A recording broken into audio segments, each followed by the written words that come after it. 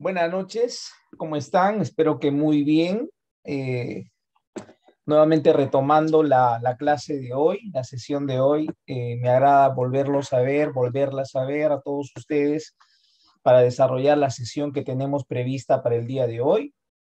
Y, y, bueno, estamos a portas pues de un día también este maravilloso que llega, ¿no? El día de mañana es el Día de la Madre, eh, entiendo que muchas de ustedes seguramente van a pasarla muy bien al lado de sus hijos o de repente acompañando a su mamá, ¿sí? Entonces, eh, en realidad, estamos en unas fechas este, muy hermosas. Entonces, vamos a iniciar esta sesión, como ya es usual.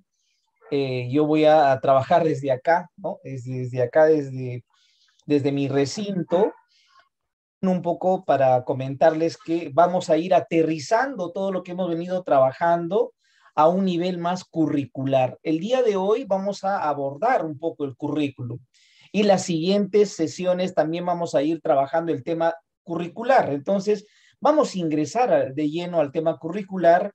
Vamos a hablar acerca del enfoque de competencias también la próxima semana un poco para entender el enfoque de, competencias, pero el día de hoy un poco vamos a poner en contexto todo ese marco este, del currículo que, necesitamos, digamos, manejar para la especialización. Bien, eh, para poder este, continuar con esta sesión y siempre agradeciéndoles a, cada uno de ustedes por, vuestra presencia, la, la, sesión anterior nosotros habíamos resaltado algunos temas particulares. A ver, hemos un poco analizado eh, la situación, la realidad de la educación básica alternativa, porque está, digamos, este, prevista el desarrollo de la política de la educación básica alternativa, que esto se va a traducir también en un plan estratégico. Entonces, lo que hemos hecho la anterior sesión es un ensayo, porque eso es lo que hemos hecho, es un ensayo de identificar algunas este, dificultades que tiene la educación básica alternativa y que muchos de ustedes han subido al Padlet y me, me parece bien. He visto que muchos de ustedes han estado subiendo ya parte de la información que han ido trabajando la anterior sesión, pero también le han ido agregando algunas cosas que es parte de vuestra cosecha, ¿verdad? Pero también, este, como parte de, de la tarea, la anterior sesión, hemos priorizado algunas de las dificultades y hemos identificado algunas alternativas. Me parece interesante las alternativas que han propuesto, ¿no? Son alternativas viables que se tienen que evaluar para poder, digamos, impulsar una política de educación este, básica alternativa que aún no tenemos en el país. Pese a que existe la modalidad de la educación básica alternativa, esa política no la tenemos todavía definida, ¿no? Por ello es importante, vamos a estar, digamos, en un entorno durante todos estos días y estoy seguro durante estos meses, porque ese es el trabajo y la tarea que va a desarrollar el ministerio, van a analizar y van a reflexionar acerca de las brechas que tiene la educación básica alternativa. Y a partir de esa mirada este, de la realidad, van a proyectar, pues, ¿no? Unas políticas o unos lineamientos que permitan orientar eh, la, la, la modalidad de la, educación básica alternativa. Bueno, vamos a comenzar el día de hoy con algunas exposiciones. ¿Está bien? Vamos a comenzar con algunas exposiciones, un poco retomando también esa lectura que teníamos de César Picón. César Picón este, es una persona, es un experto que en realidad este, ha estudiado acerca de los jóvenes, de los adultos, y tiene una obra maravillosa que se denomina Si las personas jóvenes y adultas aprendemos, eh, nos beneficiamos todos, ¿verdad? Entonces, eh, en esta eh, presentación que van a desarrollar algunos de, vuestros compañeros, Isaura y Oscar, ¿ok? Yo le voy a pedir a, a, Oscar que, este, por favor, me envíe su presentación al WhatsApp. Si estás ahí, Oscar, me escuchas, Oscar Coragua, me envías, por favor, al WhatsApp Isaura ya me envió, ¿estás ahí, Isaura? ¿Sí? ¿Me escuchas, Isaura? Profesor, buenas noches. Hola, Isaura, ¿cómo estás? Yo ya tengo tu presentación para que lo puedas compartir. Y bueno, la idea es un poco este, revisar esta información que este, nos comparte César Picón y vamos a detenernos a partir de la exposición en este tema que se denomina el sector poblacional, ¿ya? El sector poblacional clave para impulsar el cambio. Miren, ¿ah? el, título que plantea eh, César Picón, ¿sí? Entonces vamos a invitar a, Isaura, voy a yo a este, dejar de compartir para que eh, pueda también ahí socializar lo que Isaura ha preparado. A ver, Isaura, un momento, voy a hacer la, presentación de tu, del PDF que me enviaste. Muy bien. A ver, eh, Oscar está ahí, Oscar Coragua. ¿Sí me escuchas, Oscar? Parece que no está, Oscar. Ok. Ok, a ver, vamos. Este, muy bien, voy a en este momento a, a compartir. ¿Llegas a ver, Isaura, tu presentación? Isaura, ¿me escuchas? Sí, profesor, sí lo llego a ver. Muy bien, Isaura. A ver, yo te voy a pedir que por favor habilites tu, cámara y este, podamos ahí este, escucharte, ¿ok? Y un poco disfrutar acerca del tema que nos vas a el día de hoy a este, socializar. Vamos, Isaura. Mm, maestro, buenas noches. ¿Está bien? ¿Cómo estás? ¿Se habilita la cámara? Sí, sí, se ve, se ve, pero se ve parte de tu escritorio, Isaura. ¿Algo ahí? Muy bien, Isaura. A ver, vamos. ¿Está bien ahí, profesor? Eh, ahora sí. Muy bien, Isaura. Ahora sí, sí, te podemos, este, te podemos escuchar. Vamos, con toda confianza, tú, tú misma eres Isaura. Olvídate de todo y comenzamos con, con la explicación, ¿sí? Ay, maestro, va a disculpar, es que... No te preocupes.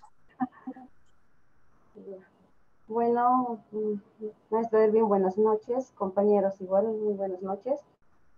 Voy a comenzar a dar a conocer el sector poblacional para impulsar el cambio. está escrito por César Picón Espinosa, el cual que mm, nos da a conocer cómo la población va cambiando actualmente. En la siguiente diapositiva, por favor, maestro.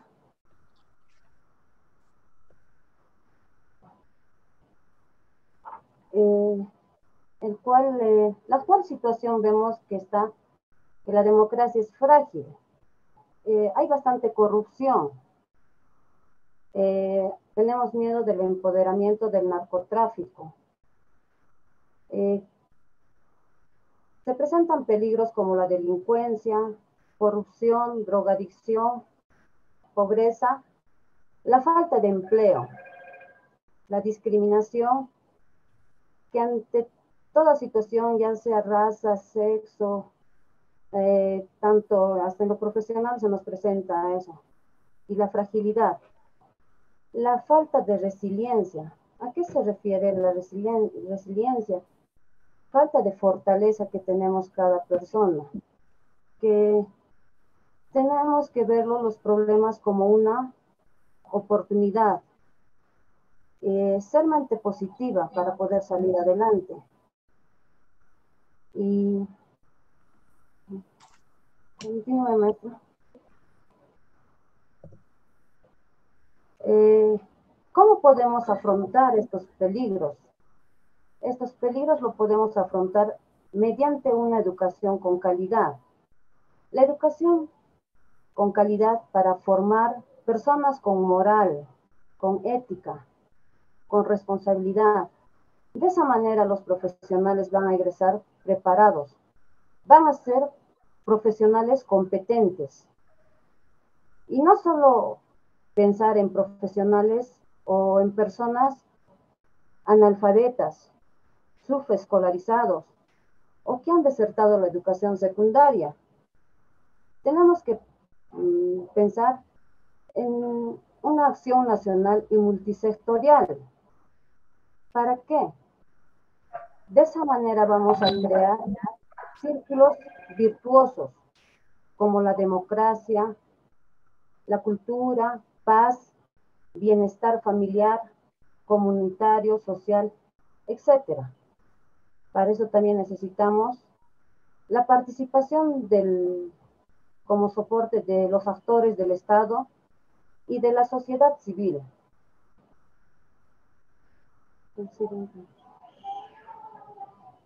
Eh, hemos tocado el tema o vemos actualmente cómo la pobreza afecta a nuestro país por muchos motivos. Como hemos visto, la falta de empleo es uno de los importantes factores de incremento, como el riesgo del país integral. El empleo, en los, los puestos de trabajo lo generan, entre otros, como el Estado, en menor proporción, y el sector privado en mayor proporción, incluyendo a los inversionistas, al empresario formal e informal, así como a los emprendedores que hasta llegan a inventar su autoempleo y generan puestos de trabajo para jóvenes. Aquí vemos personas emprendedoras que, han salido adelante como Gastón Acurio. Ha incursionado en la comida peruana, así mm, dando a conocer la comida a diferentes países y dando trabajo a jóvenes.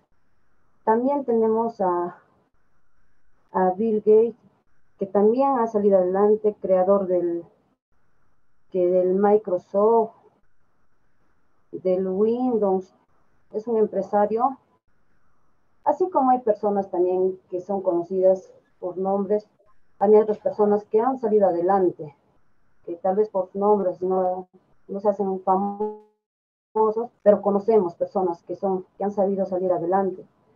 Han, han sido emprendedores, eh, personas de ejemplo, tanto en nuestras familias vemos.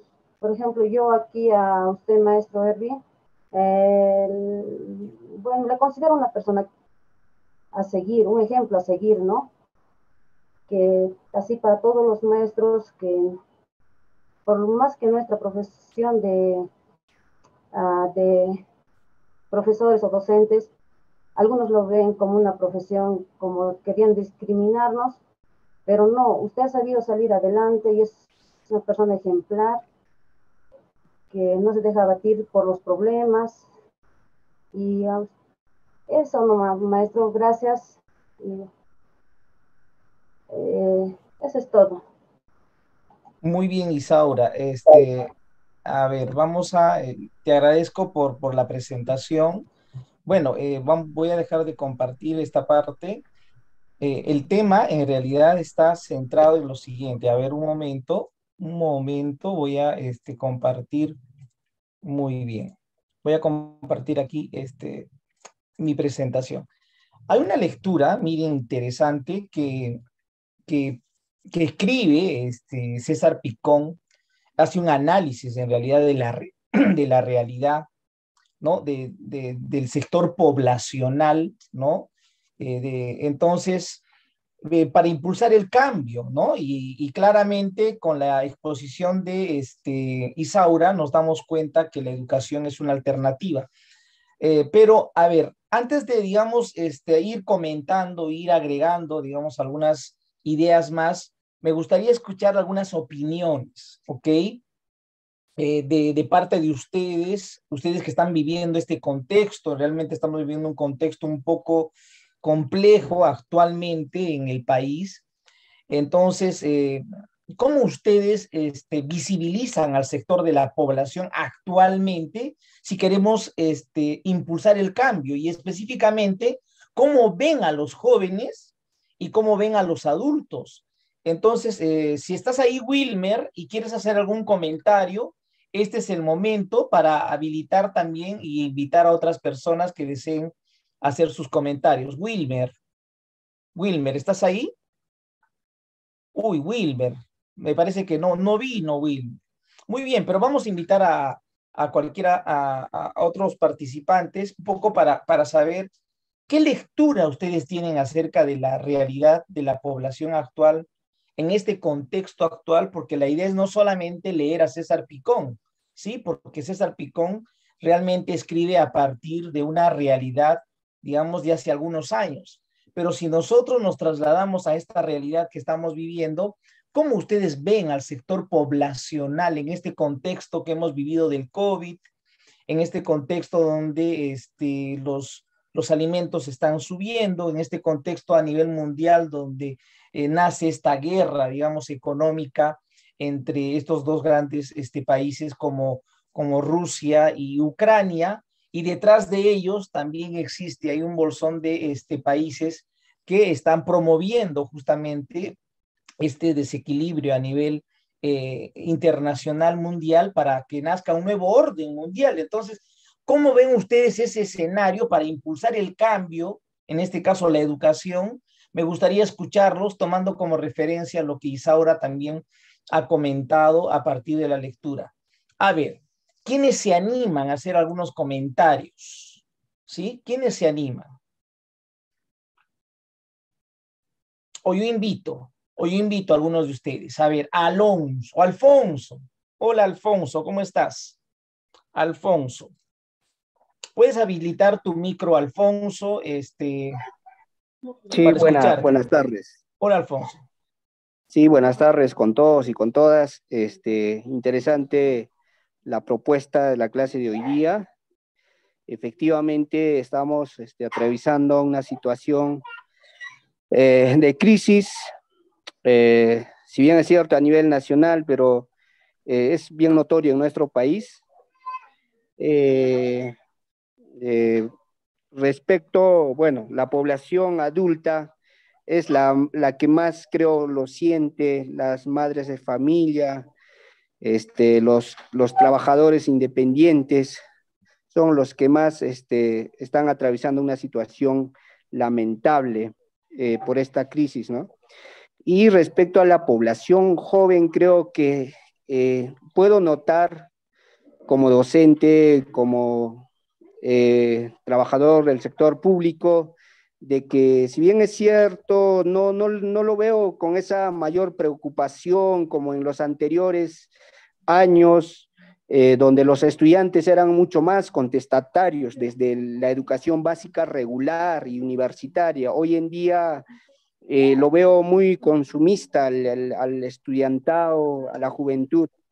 Eh, en estas épocas, ¿no? Están más distraídos con el TikTok, eh, con programas de televisión que nada, mm, poco o nada educan, ¿no? Y, y los, que, los que más lo veo así sacrificado, preocupado es la población adulta mayor.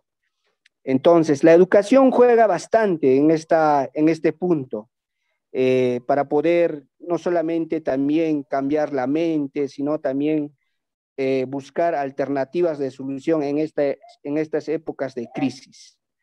Eh, eso sería una visión de mi parte. Muy bien, Alfonso. Me agrada, digamos, eh, lo que planteas, ¿no? En el escenario actual que estamos viviendo, efectivamente, somos una población consumista, ¿no? Tú lo has planteado. El hecho de consumir muchas veces hace que nos alejemos de ser prosumidores, ¿no? una cosa es ser un consumidor y otra cosa es ser un prosumidor, ¿ok? Eh, el prosumidor es el que produce información, mientras que el consumidor es el que consume información. Y muchas veces esa información que consumimos de los medios, de estos medios digitales que tú lo has planteado, este Alfonso, del TikTok, este, muchas veces no son este, acordes a la realidad que estamos viviendo y pueden distraernos en realidad y no tener una lectura crítica de la realidad, porque en realidad nosotros tenemos que tener una lectura crítica de la realidad para impulsar el cambio, ¿ok? El cambio educativo. Eh, no sé si ustedes han escuchado hace muy poco algunas noticias. El Congreso prácticamente le ha dado la espalda a la calidad de la educación universitaria. Entonces, donde las universidades van a ser, digamos, juez y parte en el directorio, ¿no? van a tomar decisiones. Es decir, los supervisados ahora son parte del directorio, ¿no? Entonces eso es un poco contraproducente en este escenario actual que estamos viviendo en la educación. Entonces, eh, hay intereses, digamos, de algunas universidades en este, no hacer, digamos, un acompañamiento, un seguimiento, un monitoreo, un control de calidad de las universidades. Entonces, esto afecta evidentemente a la población, afecta a nuestros jóvenes, afecta a la formación. Entonces, Ese es el escenario actual que estamos viviendo. También existe otra noticia, no sé si ustedes han escuchado, pero desde el Congreso también se está eliminando todo el tema de la ESI, de la educación sexual integral. El enfoque de género nuevamente está siendo cuestionado. Entonces, pese a que vivimos en una sociedad donde, este, digamos, las niñas, ¿no? Las niñas están siendo violentadas y necesitamos trabajar críticamente con nuestros estudiantes, sean mujeres o sean varones, el tema de la educación sexual. Entonces, eso también es algo en realidad que horroriza, preocupa, pero es, pero es latente, eso es lo que estamos viviendo. Entonces, y la población, como tú dices, Alfonso, es muy probable que esté distraída, ¿no? Con la televisión, con estos programas este, de, de, noticias que nos distraen y no nos ayudan realmente a leer la realidad como, como realmente esperamos. Gracias por tu, por tu comentario, Alfonso. No sé si alguien más quiere hacer algún comentario, ¿no? Estamos, digamos, este, a partir de la lectura de César Picón y de la exposición de Isaura, un poco este, analizando a la población, ¿no? La población, este, eh, digamos, con la cual la educación básica alternativa trabaja, a los jóvenes y adultos, en qué escenario nos encontramos y de qué manera podemos impulsar el cambio, pues, ¿no? A ver, Elizabeth, ¿cuáles son tus comentarios, Elizabeth? Te escuchamos. Eh, maestro, buenas noches. Colegas presentes, buenas noches. Bueno, eh, realizando un comentario quizás un poco minucioso, maestro, podría decir que también viendo la realidad de hoy en día, los jóvenes de hoy, se está viendo ya eh, mucho lo que es la pérdida de valores, maestro. Ya ahí vemos en los medios de comunicación, hay información, noticias que de jóvenes que ya están faltando respeto a los maestros. Y mira, tal extremo se está llegando, haciendo una comparación de la educación, podemos ser tradicional. Eh, quizá muchos de nosotros nos hemos educado de esa manera. Hemos visto el cultivo de valores, ¿no? Que nos han inculcado nuestros maestros, a comparación de hoy, quizás sea como me antecedió mi colega, em, están aficionados los jóvenes por la tecnología, ¿no? Eh, se enfocan mucho a lo que es tecnología, los medios de comunicación, los programas, y dan una imitación a ello, maestro. Quizás por eso también se está viendo esto de la ya están perdiéndose los valores en los centros educativos, colegios, las universidades. Y como dijo también mi colega, mayor responsabilidad están dejando a sus padres. Siendo jóvenes, ya estando en la universidad, hay veces los padres están asumiendo eh, esa responsabilidad de seguir manteniendo a los hijos, ah, pero hay también jóvenes responsables, ¿no? Otros que están trabajando y estudiando a la misma vez, maestro. Eso es lo que puedo reiterar, maestro. De, Muy bien, Elizabeth. Gracias por tu comentario. Ya el tema de la crisis de valores en realidad está generalizándose en el país, es muy cierto. Necesitamos trabajar el tema de valores, ¿no? Desde una perspectiva de desarrollo moral, ¿no? Que más adelante también voy a ir explicando. Eso es clave pero en este contexto que, digamos, queremos impulsar el cambio, ¿no?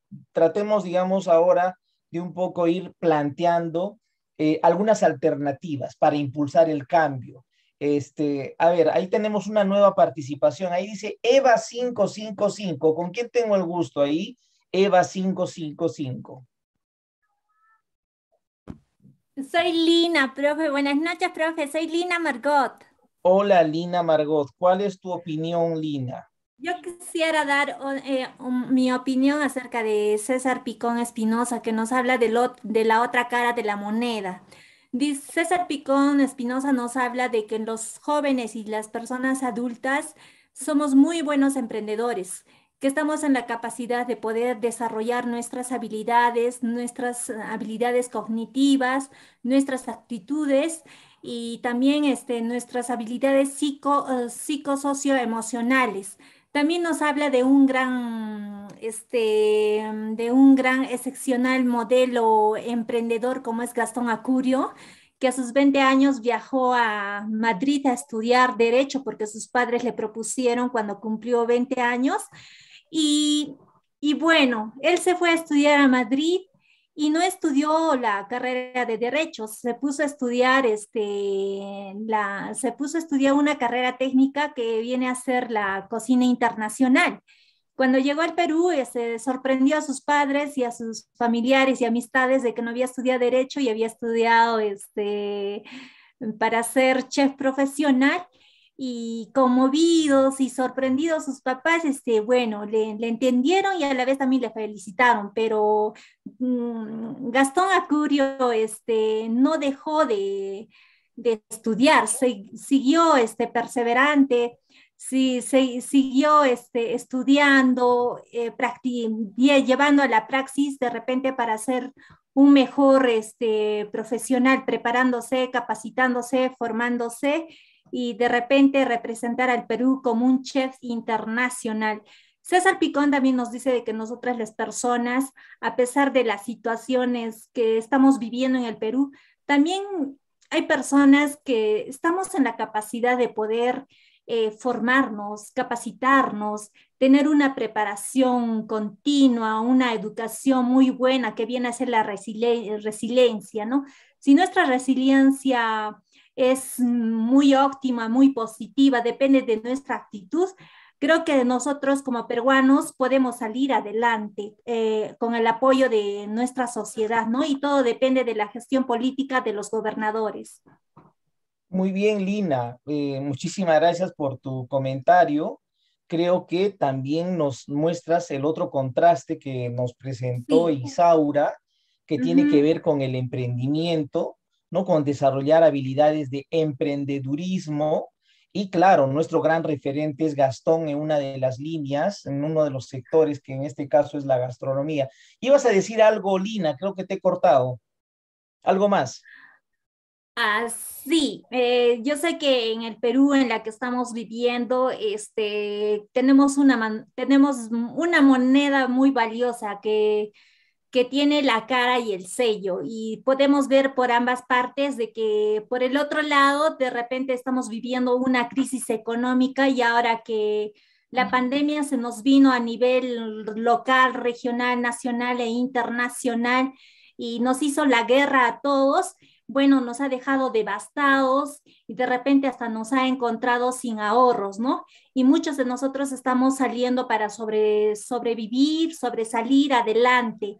Y por el otro lado de la cara de la moneda, ya también podemos ver que a los jóvenes y a los adultos podemos encontrar muchos emprendedores y estamos reactivándonos económicamente para sobresalir, sobrevivir y de repente lograr nuestros propósitos como jóvenes o como personas adultas, que en realidad sí tenemos muchas capacidades, sí tenemos muchas habilidades cognitivas, habilidades técnicas, tenemos, y más que todo, sobre todo, este, tenemos nuestras actitudes positivas para salir adelante, hermanos. Yo creo que, queridos compatriotas, debemos salir, mm, agarrarnos de la mano y salir adelante, porque no podemos este, mm, ver nuestra cruda realidad y espantarnos, asustarnos, sino este, ser perseverantes, consecutivos y salir adelante, reactivarnos económicamente y de nuevamente.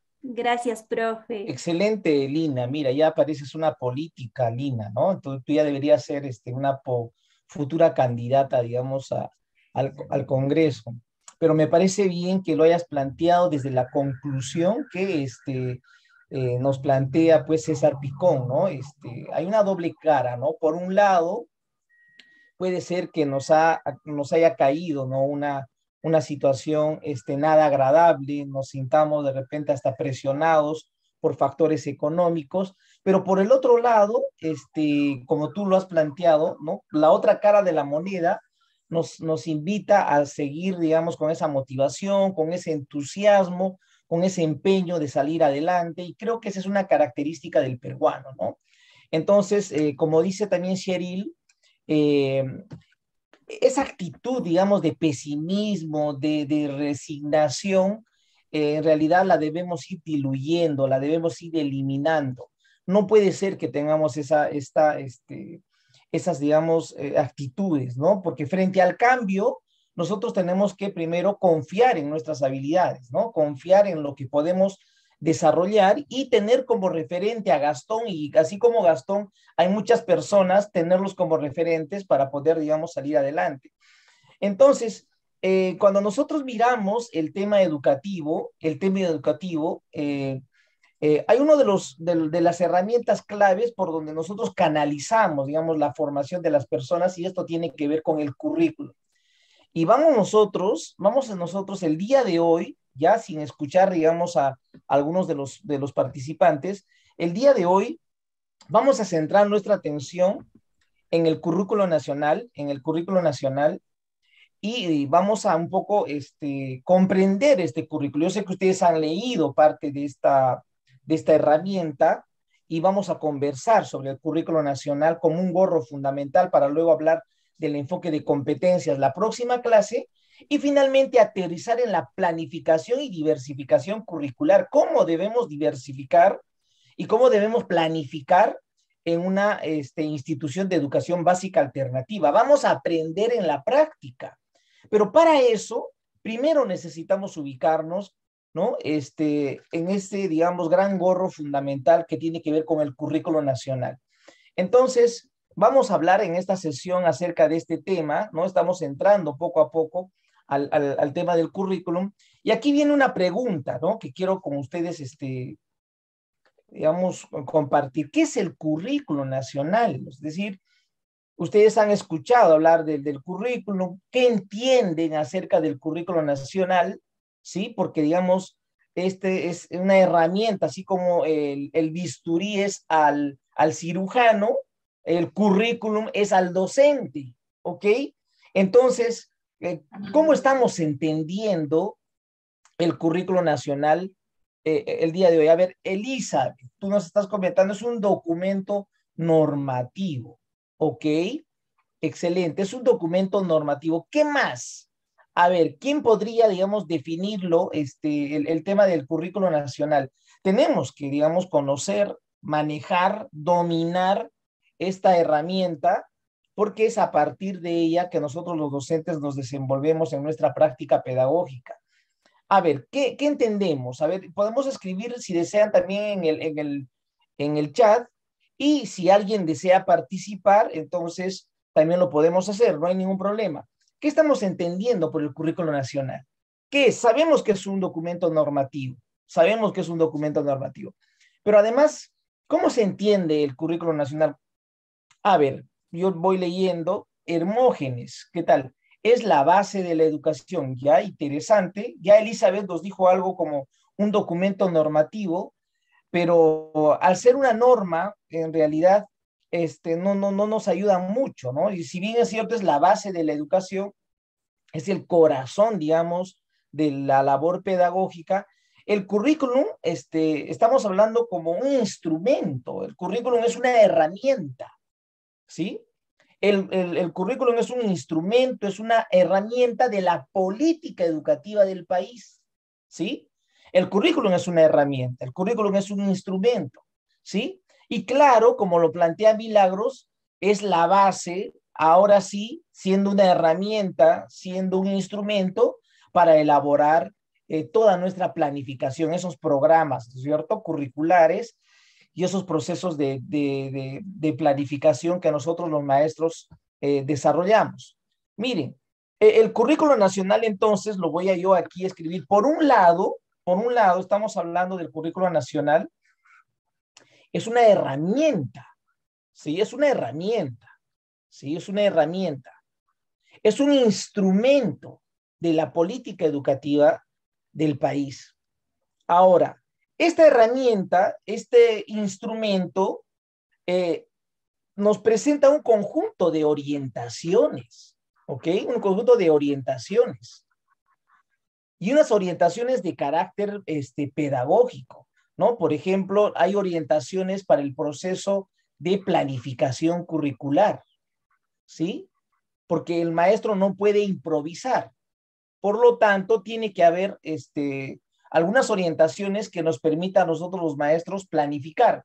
Por otro lado, desde el currículo nacional también nos orientan en todo el proceso de la evaluación curricular, cómo debemos evaluar, desde una perspectiva o un enfoque formativo. Muy bien, Lidna. Eh, claro, el currículum este, establece el perfil de egreso de los estudiantes y ahí tiene un conjunto de competencias, capacidades prioritarias. Sheril también, claro, nos brinda lineamientos, orientaciones sobre los aprendizajes que van a lograr los estudiantes. Excelente. Ahora, además de, orientarnos en el proceso de la planificación y de la evaluación, también el currículum, este, el currículum nacional nos este, orienta en los procesos, en los procesos este, de carácter pedagógico. Pedagógico. Hay distintos procesos pedagógicos, ¿no? Hay orientaciones pedagógicas en el mismo currículo nacional que nos, nos delinean, nos orientan de cómo los maestros debemos de ir trabajando en nuestra práctica este, pedagógica. Claro, Carlos, muy bien, hay una visión, ¿no es cierto?, hacia dónde debemos orientar. Esa visión, Carlos, son, es parte del perfil, porque el perfil se entiende como una visión, ¿no? Esto es algo que nosotros queremos lograr, queremos acceder, queremos, digamos, este, acercarnos, ¿no? Entonces, Miren qué interesante el currículo nacional, este documento. Eh, entonces, es un instrumento curricular, ¿no? De la política educativa, el actual currículo nacional. Fue aprobado el 2016, ¿sí? En diciembre del 2016 específicamente el 31 de diciembre del 2016. Por eso que algunos eh, manifiestan que este currículum es, eh, su naciente es el 2017, pero bueno, hay una resolución, ¿no? En el cual nace en diciembre, en el último día eh, del 2016. Este currículum entonces ya tiene cuántos años? Estamos con, mm, con un currículo con seis a siete años aproximadamente, ¿ok? Mire, este currículo nacional presenta la visión, lo que justamente nos comentaban ahí en el, en el chat. ¿no? La visión y los aprendizajes, ¿no? Que se esperan en la educación básica. La educación básica. Y la educación básica en sus tres modalidades, ¿no? Las tres modalidades, la EBE, la educación básica especial, la educación básica regular y obviamente la educación básica alternativa. Entonces, este currículum que en este momento voy a señalar es un referente para la educación básica alternativa, no solamente para la educación básica regular, sino también para la educación básica alternativa. ¿Ok? Después ya vamos a ir conociendo el programa curricular de la educación básica alternativa y tenemos ahí como una tarea, como una práctica, el comparar en qué se diferencia, ¿no? Este currículo general, ¿no?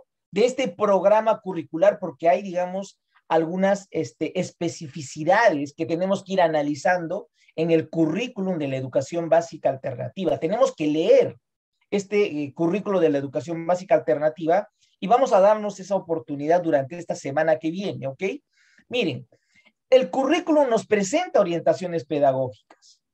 Y cuando hablamos de orientaciones pedagógicas, nos estamos refiriendo a aquello que nos va a permitir desarrollar los procesos de enseñanza y de aprendizaje. Hay orientaciones para el desarrollo de las competencias, ¿sí? Entonces tenemos nosotros que ir trabajando desde un enfoque de competencias, ¿sí? Entonces muchos de los eh, autores que, escriben, los especialistas que hablan acerca de, del currículum y de este enfoque, eh, manifiestan que Actualmente en el país, pese a que ya tenemos más de cinco años con este currículum, nos cuesta desarrollar competencias. No hemos entendido aún eh, cómo desarrollar, cómo trabajar las competencias, esa actuación compleja, porque una competencia es una actuación compleja. ¿Cómo se trabaja en el aula la competencia? ¿O estamos trabajando solo conocimientos? o, lo que antes llamábamos contenidos. ¿Realmente estamos trabajando competencias? Entonces, hemos leído el currículum y hemos visto ahí este, de qué manera vamos a trabajar el desarrollo de esas competencias. Ahí hay orientaciones Entonces, nuestra lectura tiene que ser muy crítica de este documento. ¿Cómo voy a desarrollar las competencias? ¿Ok? Y aquí hay un nuevo comentario de Rodolfo. Claro, eh, estas competencias son los aprendizajes, pues, ¿no? Este, los aprendizajes que este, los estudiantes deben lograr en toda su etapa escolar, ¿no? En esa educación básica, en cualquiera de las modalidades. Porque también muchos lo entienden, las competencias son todos los aprendizajes que los estudiantes van a desarrollar. Pero aquí hay otra orientación pedagógica desde este currículum. Eh, eh, hay orientaciones para la evaluación por competencias. ¿Estamos evaluando por competencias? Evaluar por competencias implica, por ejemplo, colocar una nota, ¿sí? Calificar. Evaluar por competencias es sinónimo de calificar, ¿no? Entonces vamos a ir hablando en las próximas sesiones acerca de la evaluación. Tenemos dos sesiones para hablar de la evaluación y voy a explicar en qué consiste la evaluación, cómo tenemos que entender la evaluación. No solamente vamos a hablar de las competencias, obviamente eso, ese enfoque tenemos que tener claridad para luego pasar al tema de las competencias y luego vamos a aterrizar en la planificación curricular. Si acá el currículo nos habla de la diversificación curricular, es porque la diversificación es una respuesta a la diversidad. No lo olvidemos. ¿Por qué hablamos de diversificación? ¿Por qué diversificar? A ver, escriban ustedes en el, en el, en el chat. ¿Por qué diversificar? ¿No? ¿Por qué diversificar? ¿Por qué tenemos que diversificar el currículum? ¿Qué estamos entendiendo por diversificar? tú eres profesor este, de repente de la secundaria, o eres profesor de primaria, o eres profesor de este, inicial, y ahora vas a trabajar en la educación básica alternativa, entonces tienes que diversificar el currículum. ¿Qué implica la diversificación? ¿Cómo ustedes lo están entendiendo? Ah, Yolanda, eso responde a lo que acabo de indicar. La diversificación es una respuesta a la diversidad. A ver, vamos a colocar en el chat todos. La diversificación es una respuesta a la diversidad. A ver, si Eril nos dice, por las diferentes realidades, claro, por los diferentes contextos. Como dice Cecilia, también implica comprender y brindar los aprendizajes. Claro, muy bien, y tiene que ser de acuerdo a la realidad. Muy bien, Carlos. Igual Dina, concuerdo, tiene que ser de acuerdo a la realidad. Entonces, pero aquí, digamos, si nosotros queremos definir el, eh, este, el tema de la diversificación, eh, tenemos que entender que la diversificación es una respuesta a la, a la, a la diversidad. Elizabeth, la diversificación es una respuesta a la diversidad. Somos un país diverso en todo sentido, diverso culturalmente, diverso geográficamente, ¿sí? Eh, los estudiantes de Tumbes son distintos a los estudiantes de Puno y distintos a los estudiantes de Iquitos. Hay una diversidad. Entonces, por lo tanto, el currículum debe responder a esa diversidad. ¿Sí? Entonces, la diversificación es una respuesta a la diversidad. Muy bien, Cyril. Excelente. Entonces, este es el currículum con el cual este, trabajamos eh, actualmente eh, en el país esta herramienta, eh, este instrumento, y vamos a hablar de este instrumento y vamos un poco a involucrarnos más, ¿no? En el dominio y en el manejo de, de, este material. Ana nos dice, y me parece interesante lo que acaba de escribir Ana Carpio, adecuar, adaptar y contextualizar. Claro, la norma lo dice Ana, que el proceso de diversificación, así es, está bien y me parece bien que lo hayas colocado, Ana, la norma, hay una norma que ha salido, una disposición, ¿no? En este caso, de que el proceso de, diversificación implica adecuar, adaptar y contextualizar. Nosotros, por ejemplo, desde la EVA, adaptamos a la realidad de los jóvenes y adultos, ¿sí? Adaptamos a la realidad de los jóvenes y adultos. Desde la EVE, desde la educación básica especial, también se adapta a la realidad, a las necesidades de los estudiantes con necesidades educativas especiales. Entonces ahí hablamos de la adaptación incluso de la adecuación, porque el currículo se tiene que adecuar y adaptar a esta población, ¿no? A estos sujetos. Pero cuando ya hablamos del currículum desde una perspectiva de la contextualización, lo que acaba de decir este, Ana, ah, entonces el currículum se eh, contextualiza a la realidad, a la realidad de Cusco, a la realidad de Cajamarca, a la realidad de Tacna, a la realidad de San Martín, y hay un nivel de contextualización porque el contexto es diferente, ¿ok? Entonces, eso es importante, lo que tú acabas de decir, este, Carlos, que el currículum evidentemente va a sufrir algunos cambios. Entonces, fíjense de todo lo, de todo lo que vamos a hablar en las posteriores sesiones, ¿no? Específicamente eh, centrando nuestra atención en el desarrollo de competencias. ¿Qué estamos entendiendo por competencias? Vamos un poco a debatir.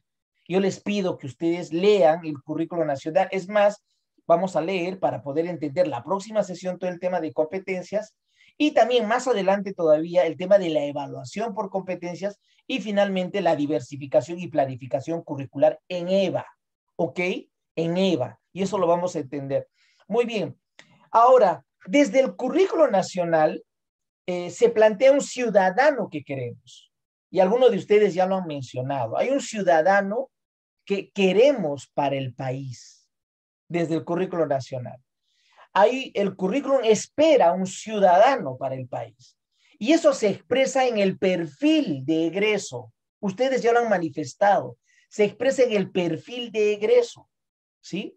Porque el perfil de egreso es la visión que esperamos de los estudiantes. Ese es el ciudadano que queremos. Entonces, acá hay un perfil, ¿sí? Y estos perfiles, como eh, se van a expresar finalmente en competencias, ¿no? En capacidades, en desempeños. Estos perfiles, esto es lo que se espera que desarrollen los estudiantes de la educación básica.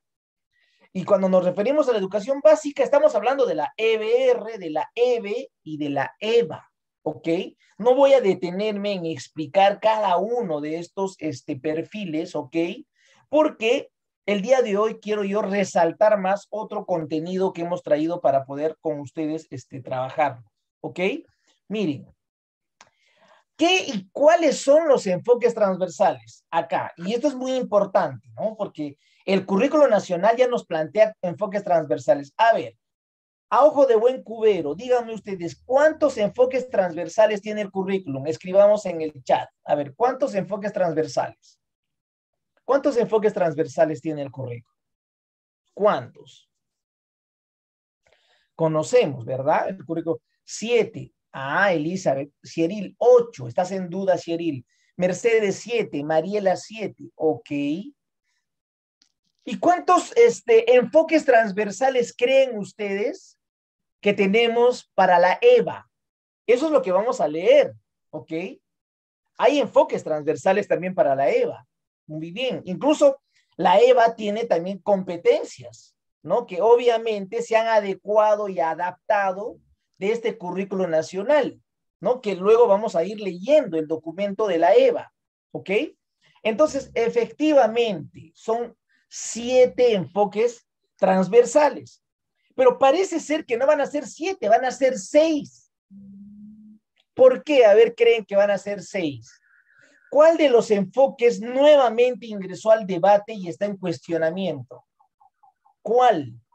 A ver, este, necesitamos estar ahí este, atentos. Parece que ya no van a ser seis, no van a ser siete, van a ser seis. ¿Cuál de los enfoques nuevamente está en controversia? Y el Congreso simplemente le dijo no a ese enfoque. Por lo tanto, todos los materiales todos los materiales educativos tienen que desenfocarse. Ajá, muy bien, estamos hablando de la igualdad de género. Eh, hace algunos años, me parece que el año pasado, el tema del enfoque de la igualdad de género eh, estuvo pues este, en controversia, ¿sí? Y este, el juzgado el juzgado, el juzgado, porque esto se judicializó, eh, el juzgado, ¿no? Se judicializó, le dio la razón al Ministerio de Educación. ¿Me dejó entender? El juzgado le dio la razón al Ministerio de Educación, manifestando que el enfoque de la igualdad de género es conveniente para el tipo de sociedad que estamos viviendo. ¿Ok? Entonces hay un argumento judicial donde este, se retoma nuevamente desde el currículum el enfoque de género, ¿no? Y no se habla de ideología de género, sino el enfoque de igualdad de género. Hoy vamos a tratar un poquito acerca de ese enfoque, ¿ok? Pero como dice Alfonso, el Congreso, el día de antes de ayer, me parece que ha sido hace dos días, Alfonso, ¿verdad? Hace dos días, simplemente ha cuestionado el enfoque y nuevamente el currículum se queda con seis enfoques, ¿sí? Y esto va a implicar, esto tiene consecuencias. ¿Por qué? Tiene consecuencias porque los materiales este, educativos también tienen que este, reelaborarse. Es más, desde el Congreso se está planteando ya una nueva ley para que los padres de familia escuchen. Los papás o las mamás, los padres de familia, elaboren conjuntamente con el ministerio los materiales educativos. Eso es lo que está proponiendo el, el, Congreso. Es decir, que el padre de familia tiene que tener participación en el diseño y construcción de los materiales educativos, de los textos escolares. ¿Por qué? Es el padre que va a estar ahí mirando si realmente se va a incluir este enfoque o no. Entonces, eh, me parece realmente este, terrorífico lo que está sucediendo a nivel educativo actualmente en el país y esto afecta el currículum, afecta el currículum. Y teniendo muchos con este Cyril, este docentes en el Congreso, pero que tienen una mirada totalmente distinta, distinta, ¿no? A los profesores eh, en el país. Y bueno, lo sabemos, cada Congreso siempre ha tenido sus propios intereses más allá del interés del estudiante, de la educación, hay un interés personal, hay un interés particular. El hecho de que el Congreso, ¿no? haya, digamos, respaldado a las universidades para que sean parte de, ¿no es cierto? O sean juez y parte en la SUNEDU, es porque hay un interés particular. No les interesa la educación. El tema es otro estamos yendo por otro camino, le estamos dando la espalda a la educación. Entonces, eh, y eso no tiene que ver con las políticas de Estado, Elizabeth, porque una política de Estado tiene que responder a las necesidades de quién? De los estudiantes. Pero no son políticas de Estado, son decisiones que están tomando a nivel del Congreso y evidentemente el tema, por ejemplo, de las universidades ya ha sido cuestionado, ya este, el Ejecutivo se ha pronunciado, no está de acuerdo con esta, con esta ley que, que sacó el Congreso, donde este, prácticamente este, se le da la espalda a la educación este, superior, entonces no va a aceptar el Ejecutivo y ahí se viene entre el Ejecutivo y el Congreso nuevamente otro, otro debate, otra controversia. Muy bien, pero bueno, todo esto tiene que ver con lo que estamos hablando el día de hoy, ¿no? Con los enfoques. Fíjense, a ver, tenemos siete enfoques hasta ahora en el currículo nacional y es probable que uno de ellos ya no lo lleguemos a implementar, como ya lo ha manifestado alguno de ustedes. Miren, los enfoques transversales son los lentes con el cual miramos la realidad. ¿Me dejo entender? Los enfoques son los lentes con el cual miramos la realidad. Y los enfoques responden del los enfoques transversales del currículo responden a los problemas, a las demandas y a las necesidades socioculturales de nuestro país. ¿Sí? He tenido la suerte, he tenido la suerte de participar, ¿no? En la construcción de este currículo nacional. Demandó un tiempo bastante largo. No sé si ustedes recuerdan, pero antes de este currículo nacional existía el marco curricular. ¿Recuerdan? Trabajamos con el marco curricular y las rutas de aprendizaje. ¿Lo recuerdan? Claro, este nuevo currículo nacional es la evolución de ese marco curricular, ¿no? Es la evolución. Es el documento que hasta ahora este, está, digamos, vigente. Sin embargo, nuevamente les comento, El ministro de Educación actualmente, el ministro Rosendo Serna, ministro de Educación que ha sido, digamos, director regional de Huánuco, director regional de Huánuco en dos oportunidades, Rosendo, ha cuestionado el currículo también. Ha cuestionado en el sentido que no representa, no representa eh, la realidad del país. Y puede ser que tenga razón, no puede ser que tenga razón en algunas partes, obviamente. Eh, él manifiesta que esto, este currículo nacional debe ser construido por los mismos docentes de las instituciones educativas y tiene que, de alguna manera, ser la expresión del país. ¿no? Él cuestiona de que este currículo se haya elaborado desde el escritorio.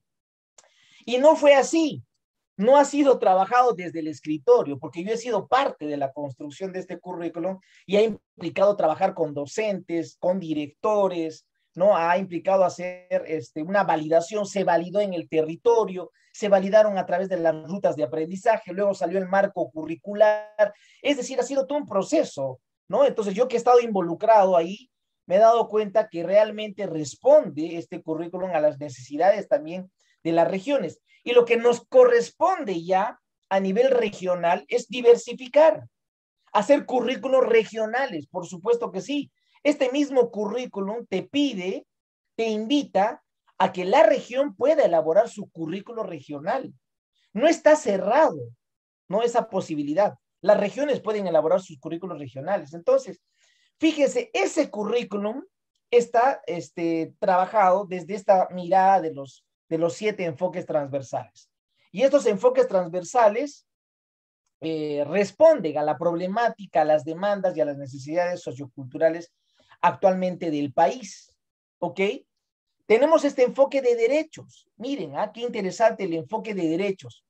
Cuando nosotros hablamos del enfoque de derechos, miren, eso es, eso es importante, tenemos que recordar que eh, hay, uno, hay, un, hay un valor en el currículo nacional que se habla de la conciencia del derecho, ¿ok? De la conciencia del derecho. ¿Qué significa esto? Que muchos no somos conscientes de los derechos que tenemos, ¿sí? Y al no ser conscientes de los derechos que tenemos, no denunciamos, por ejemplo. Hace poco, un estudiante venezolano, no sé si escucharon las noticias, ha sido agredido producto del bullying, ha sido maltratado. ¿Y saben qué? Tiene problemas ese estudiante con todo su aparato, este, en este caso, eh, me parece que la, columna vertebral ha sido afectada de este estudiante y, bueno, eh, producto del bullying, del abuso de sus compañeros, un estudiante venezolano. Ha denunciado, por supuesto, él es consciente de su derecho, él independientemente de que sea de Venezuela, no va a permitir que otros estudiantes peruanos lo agredan, ¿no? Y la xenofobia comience a nacer. Hay una xenofobia increíble en el país. Y eso tenemos que ir erradicando. Y eso es parte de nuestro rol. Entonces, el enfoque de derechos justamente nos habla de eso, de ser conscientes del, del derecho que tenemos para denunciar, eh, y cuando hablamos desde este enfoque de derechos, hablamos de que también tenemos que actuar en libertad y con responsabilidad. Tener el derecho te invita a actuar con libertad, ¿sí? Con libertad. Pero en el marco de esa libertad, con responsabilidad, sin perjudicar al otro. ¿Ok? Entonces es algo que se viene trabajando desde este enfoque transversal, el enfoque de derechos. Hay otro enfoque que desde el currículo nacional también se promueve, es el enfoque inclusivo o de atención a la diversidad.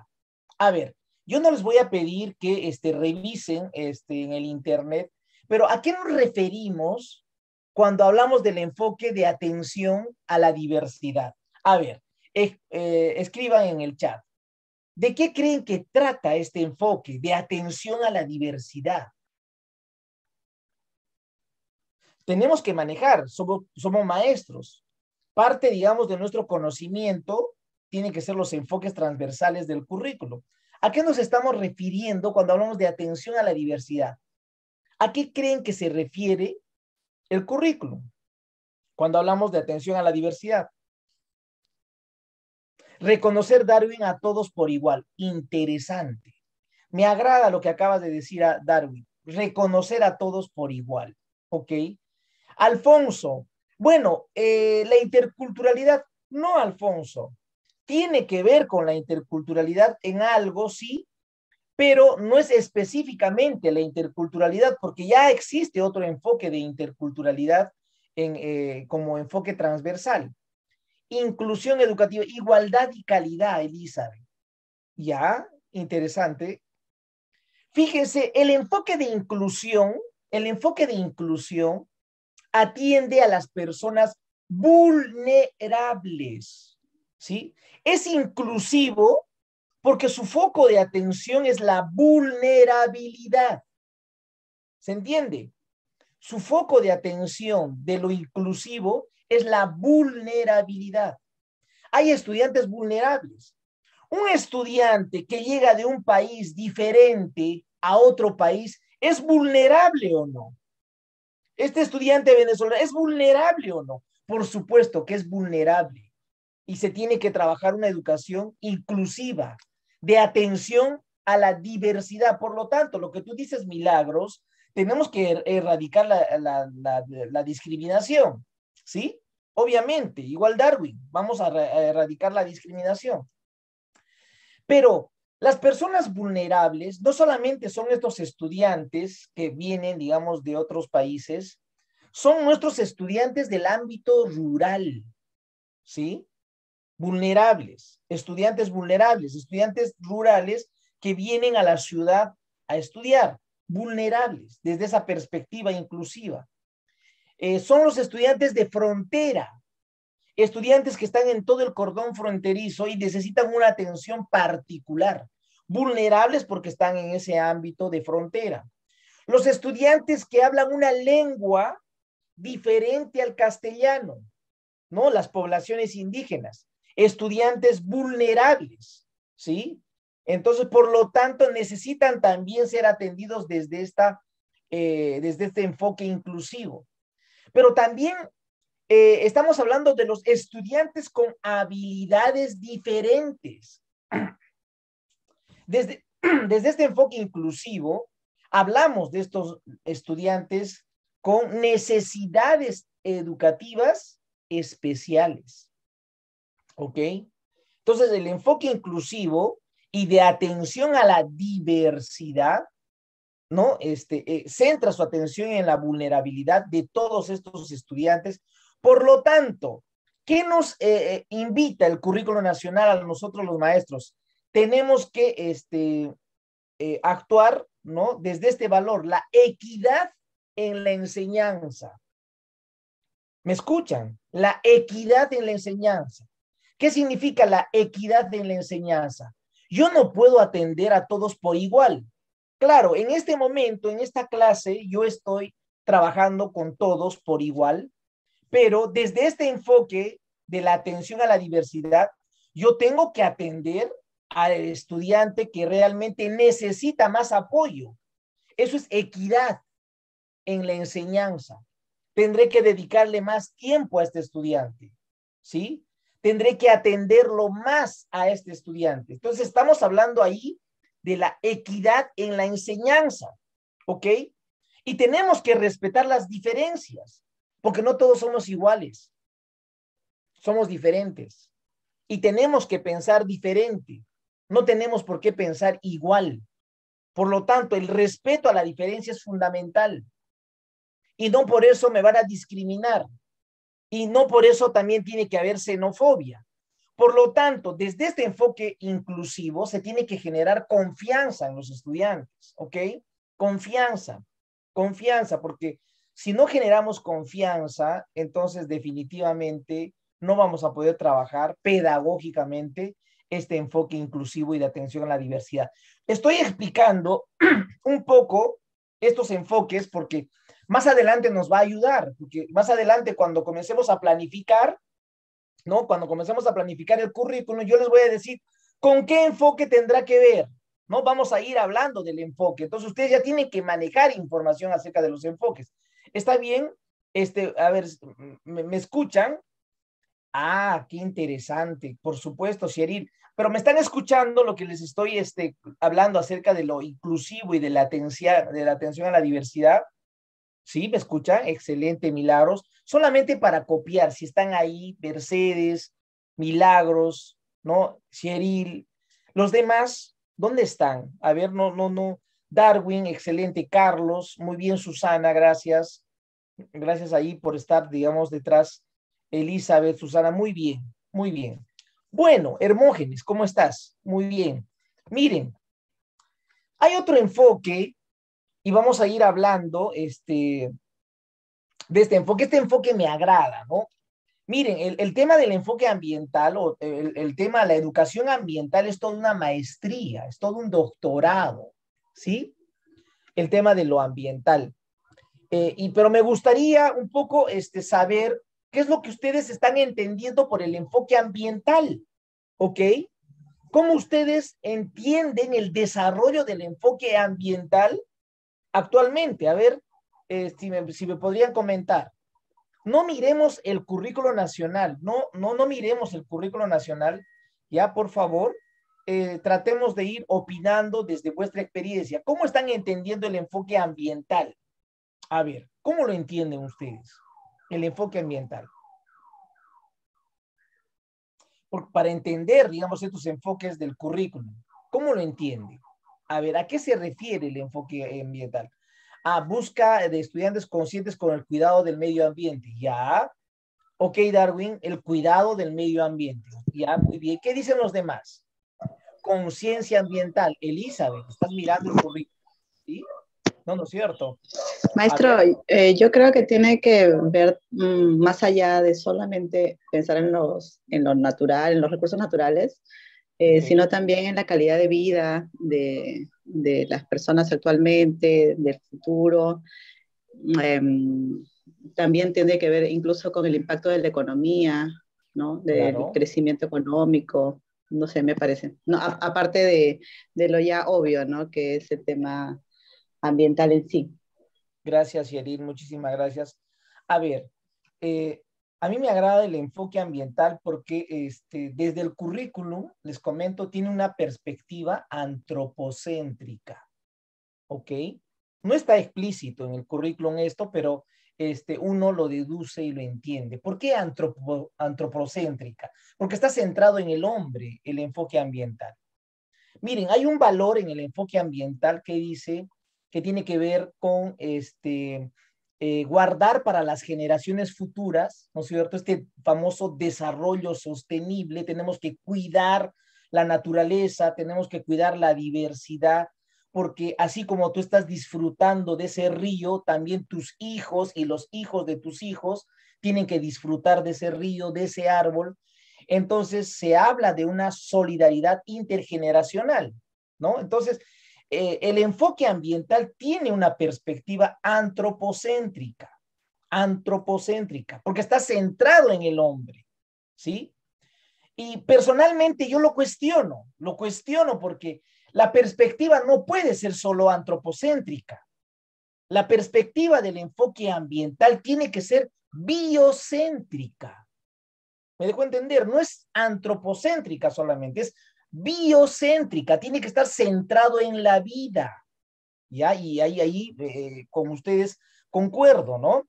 El tema del desarrollo sostenible es antropocéntrico, porque está pensando en el hombre, en guardar para las generaciones futuras estos espacios, estos recursos, porque todos debemos disfrutar de esos recursos. Es una perspectiva antropocéntrica.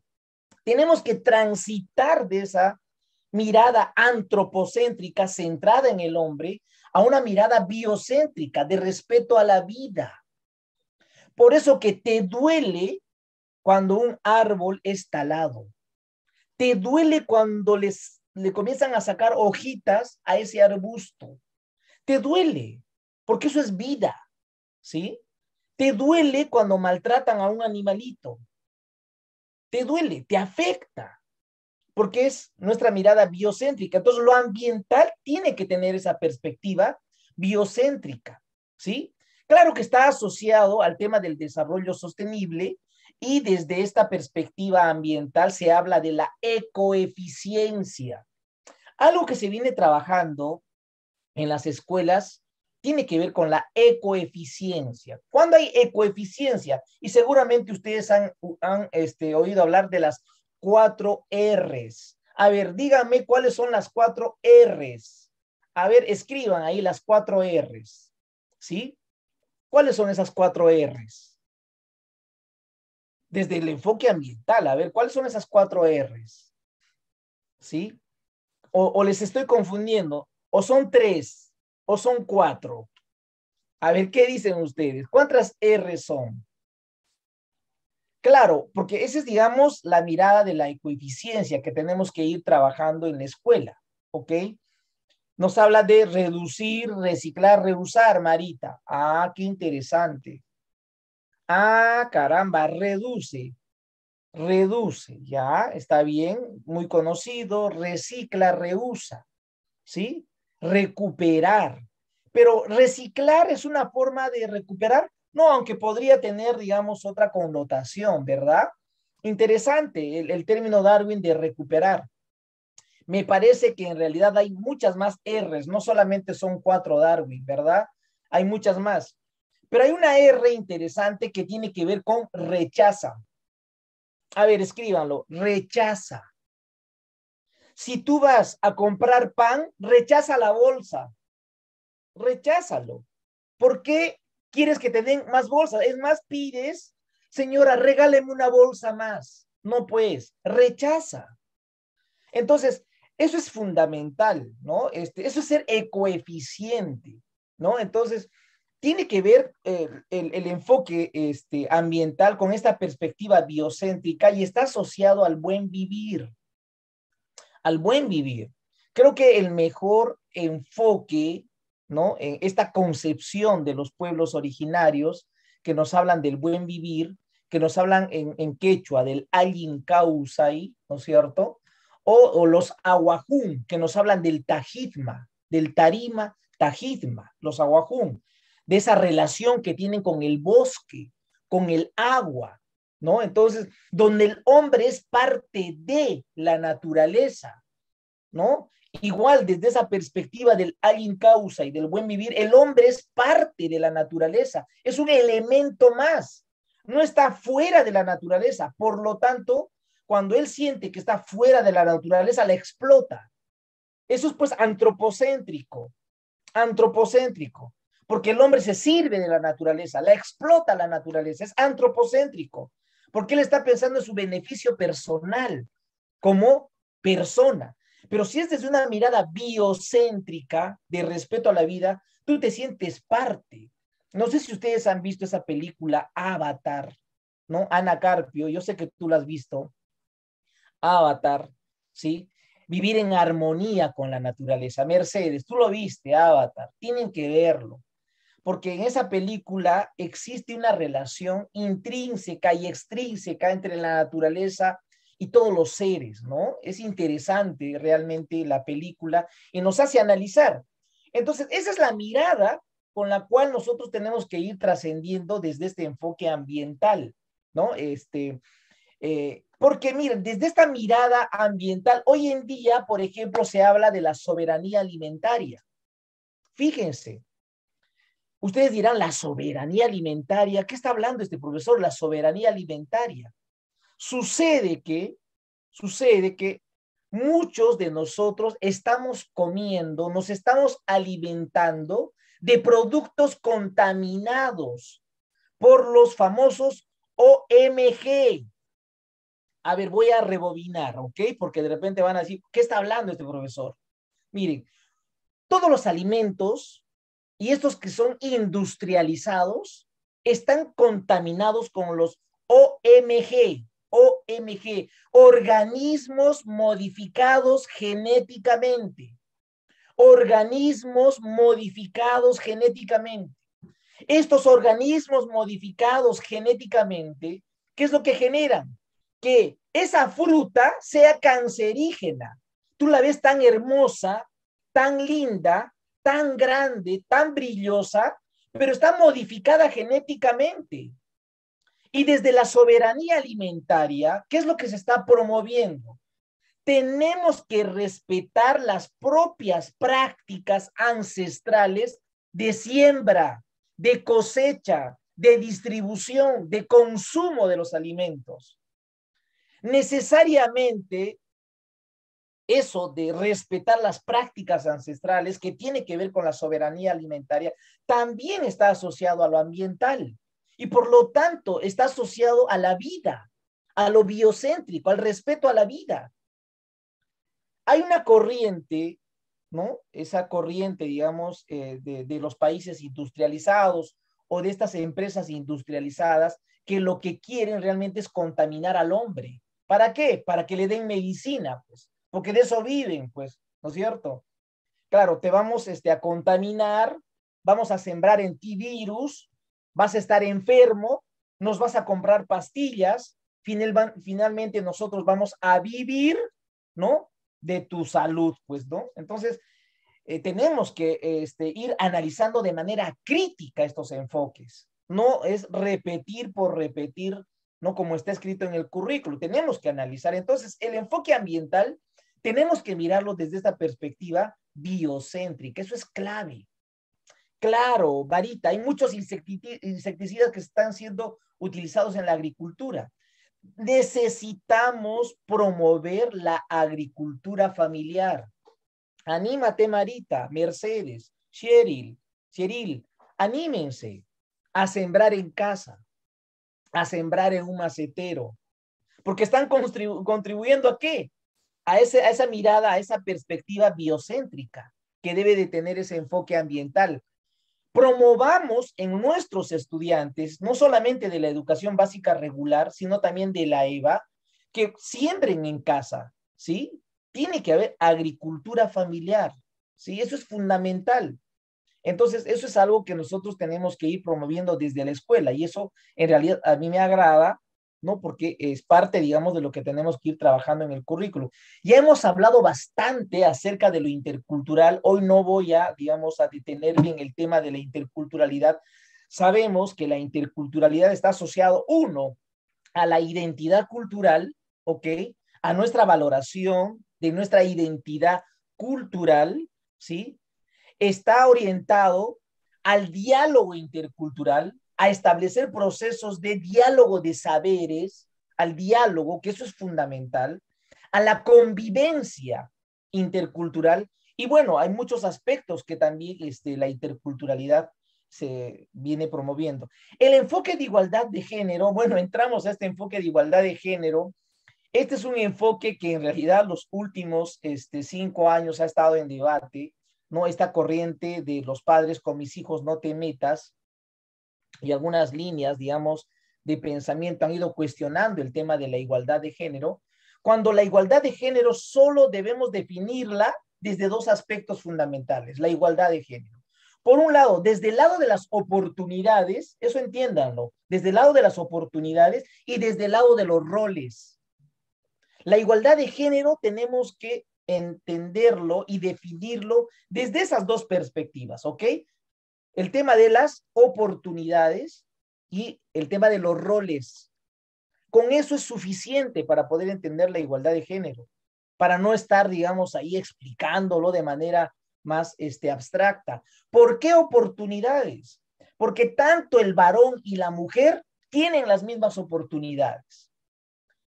Tanto estas personas que son del LGTBI, aunque no te agrade, el LGTBI más, lesbianas, gays, transexuales, este, etcétera, ¿no es cierto? También tienen que tener las mismas oportunidades. ¿Por qué no, por qué no voy a dejar o por qué voy a dejar de, dar la oportunidad laboral, e, etcétera, o de educación a estas personas? ¿Por qué? Tienen el derecho. Y desde una perspectiva de igualdad de género, todos y todas tenemos las mismas oportunidades para estudiar, para trabajar, para ser libres, para hacer las cosas que queremos. Simplemente es eso, las oportunidades. Ese es un concepto potente desde la igualdad de género, las oportunidades. Darwin, es cierto, no se cumple, pues. Lamentablemente no se cumple. Pero para eso está la escuela, Darwin. Nosotros tenemos que promover eso desde la escuela, ¿sí? Desde las aulas, los futuros profesionales son estos estudiantes a los cuales estamos educando, Darwin. Ellos son los estudiantes, los futuros profesionales, los futuros, eh, las futuras personas que se van a ubicar en puestos claves. Si van a tener una formación de este tipo y te van a recordar Darwin, entonces van a seguir nuestra línea. A eso apunta el enfoque de la igualdad de género. Pero por otro lado, cuando hablamos de roles, de roles, hay ahí algo interesante, ¿no? Y tiene que ver con el intercambio de roles, ¿sí?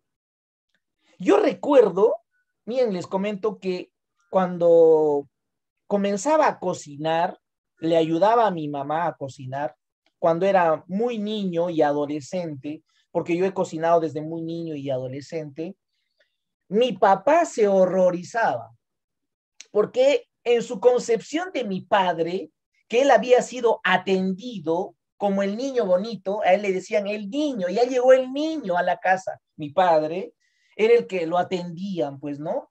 Él no iba a cocinar, la cocina era para la mujer. Entonces había siempre ese cuestionamiento entre mi mamá y mi papá. Pero yo no me hacía faltas, no me molestaba, no me incomodaba. Claro, mi mamá sentía que, eh, que, que alguien debería apoyarle y pensó en mí como hijo mayor. Pero fíjense, el tema de los roles es fundamental. Roles con tus hijos varones y con las niñas mujeres. Se tiene que intercambiar roles, ¿sí? No hay exclusividades. La muñeca no es exclusividad de la mujer. También un varón puede tener su muñeca, ¿por qué no? Y no se estén imaginando otra cosa, ¿ok? No se estén imaginando, pero por supuesto que sí. Entonces, este, los roles son fundamentales. Si nosotros llegamos a formar a nuestros niños, adolescentes, jóvenes y adultos, y les explicamos la importancia de intercambiar roles, ¿no es cierto? Desde esta igualdad de género, va a ser potente, va a ser potente, ¿no es cierto? Entonces vamos a respetarnos mutuamente, ¿ok? Entonces, este, por ejemplo, a Darwin mañana le toca cocinar, ¿sí o no, Darwin? ¿Sí? Mañana le toca, y eso es parte de los roles que tenemos que asumir, ¿no? No es lo que los hombres callamos, no, no, no, o lo que los varones callamos, no, no, no, eso no es. Es parte de la igualdad de género, ¿ok? Entonces, eh, eso, esto está siendo cuestionado y bueno, me parece que vamos a dejar. Y a propósito de este, de este enfoque, perdón, de la igualdad de género, eh, lo que sí desde el Congreso se ha inhabilitado es la educación sexual integral, la ESI. Ustedes han sido seguramente capacitados en algún momento en la ESI, la educación sexual integral. Y lamentablemente es algo que ya no debemos de trabajarlo desde la escuela, ¿no? Porque lo dice el Congreso. Entonces, es lamentable cuando sabemos que nuestros niños y nuestros estudiantes están expuestos a, a las redes y ahí en realidad se enteran de todo, o sea, no podemos tapar el sol con un dedo, es increíble, pero eso es lo que sucede. Es un tema de, digamos, no ponernos de acuerdo. Realmente somos un país en el cual nos falta todavía ponernos de acuerdo y tenemos que evolucionar un poquito más en ese sentido, ¿ok? A ver, hay otro enfoque clave que, está asociado a la búsqueda de la excelencia. Y esto me agrada, el tema de la excelencia, ¿ok? el tema de la excelencia. ¿Por qué me agrada el tema de la excelencia? Pero antes, digamos, de explicarles el tema de la excelencia, ¿qué entienden ustedes por la excelencia? A ver, para ustedes, ¿qué es ser excelente? Porque nos estamos hablando de la búsqueda de la excelencia. Y les comento como anécdota, eh, el currículum iba a tener solo este, seis enfoques transversales. Pero cuando llega el currículum al ministro, eh, al, ex ministro eh, que salió después de Patricia Salas, me van a ayudar a recordar este ministro que, ahora trabaja en la UNESCO, él, él Jaime incorpora, Jaime Saavedra, claro que sí, Jaime Saavedra incorpora este enfoque, ¿no? Después, digamos, de, bastante este, discusión, él incorpora este enfoque porque él considera clave, ¿no? La búsqueda de la excelencia en el desarrollo de la persona, ¿no? A ver, ¿qué estamos entendiendo por excelencia? A ver, ¿qué dicen ustedes? ¿Qué es excelencia desde esta perspectiva del enfoque? A ver, vamos. ¿Puedo, maestro? Claro, sí. por supuesto. Gracias. Se confunde un poquito la excelencia con la cuestión de perfección a veces, o de hacerlo todo bien. Sin embargo, creo que tiene que ver con la capacidad de adaptabilidad, ¿no? A los cambios em, y siempre tener una actitud proactiva ¿no? Y resiliente, es lo que, como lo veo yo. Eh, Cyril, me parece interesante lo que acabas de decir. Eh, has hablado de algo que me parece interesante, que es la flexibilidad, el cambio, el cambio, ¿no? Este, porque cuando una persona es flexible, tiene la capacidad de adaptarse, pues, evidentemente, lo que acabas tú de decir. Eh, pero miren, el término de, de, la excelencia hay muchos autores que hablan, no es un objetivo ser excelente, o sea, la excelencia es una actitud y es una actitud mental. Yo me siento excelente, tú te sientes excelente, es una actitud mental, parte de ahí, de la actitud, no como un objetivo, digamos, a lograr, porque no todo está asociado a resultados, porque se asocia la excelencia a eficiencia, se asocia la excelencia a eficacia, se asocia la excelencia a calidad, ¿ok? Pero ser excelente implica primero tener actitud mental, ¿ok? Y esto cuando se habla de la calidad total, ya nacen este, los famosos ISO, ¿no es cierto? ISO 9000, ¿no? Con el propósito de hacer las cosas bien, cada vez mejor, ¿no? No es igual que perfección, como tú lo acabas de decir, este Cheryl, pero se apunta a eso, ¿no? La, digamos, en el trabajo, en nuestra vida diaria, en las, en las actividades que, que desarrollamos. Pero hay algo interesante del término de excelencia que está asociado a la perseverancia. E, el, el, la excelencia es un constante. La, la excelencia es un una, una, este, es una mejora continua. Ese es lo constante. La excelencia es algo que fluye, es algo líquido, ¿sí? No es estático. Por lo tanto, no estés pensando que ahora ya llegué a ser excelente. No, es un constante, es algo líquido, es algo caminante. Es el, eh, esa, esa mejora continua implica este, un cambio permanente, implica la flexibilidad. Yo recuerdo cuando ah, era muy niño, muy niño, yo recuerdo, miraba en las noticias que eh, cuando estaba, digamos, en su apogeo Sendero Luminoso, eh, vi en las noticias y eso, y eso me quedó grabado aquí en el cerebro, porque yo, yo digamos, estuve ahí eh, preocupado, un poco inquieto por lo que estaba sucediendo, hubo una explosión con dinamita, me parece que en el canal de frecuencia latina, ¿no? Mm, hace algunos años, yo era muy niño, de frecuencia latina, y este, pasaron por los medios que se había agrietado la infraestructura, ¿no? El edificio agrietado, las vigas y columnas destrozadas, los vidrios rotos, prácticamente la construcción se tenía que rehacer porque todo había afectado, pero frente, frente a frecuencia latina, ¿no? Frente a ello había un parquecito